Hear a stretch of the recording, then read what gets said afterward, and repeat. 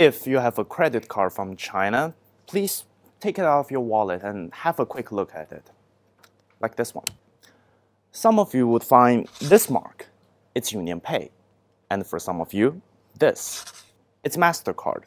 It mostly appears on cards used for international travel where the payment process is different.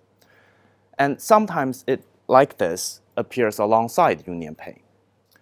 Now, MasterCard is a US credit giant. It is the second overseas bank card got approval for clearing operation in China.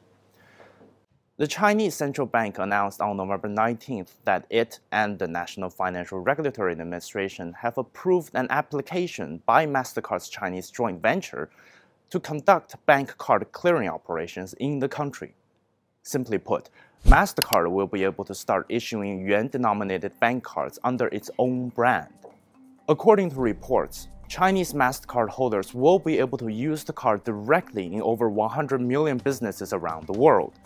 The move is conducive to building a stable bank card clearing market structure in China with effective competition and deepening the supply side structural reform of the payment industry. I think that we bring three things really to the market.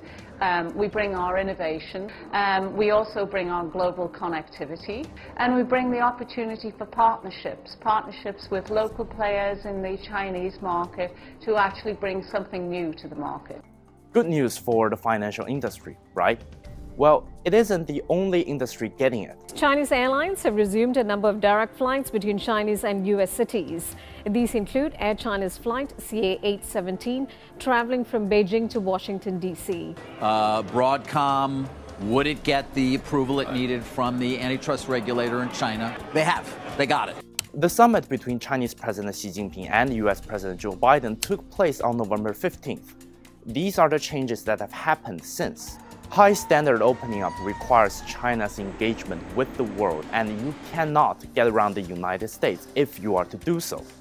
We see here, from finance to aviation or tourism to individual business, China has demonstrated the willingness to fulfill and act fast on its promises. I, I, think that China, to its credit, has been fairly good about taking on board criticism, constructive criticism, when it comes to improvements around the economy and the infrastructure around so it. So it's important that you take little steps to rebuild trust, rebuild the belief in the people of China and the people of the United States that there are benefits from US China relationship. We've been taking many significant steps in the less than 10 days since the summit. Fixing what's broken requires more effort, more initiation, and more concrete action.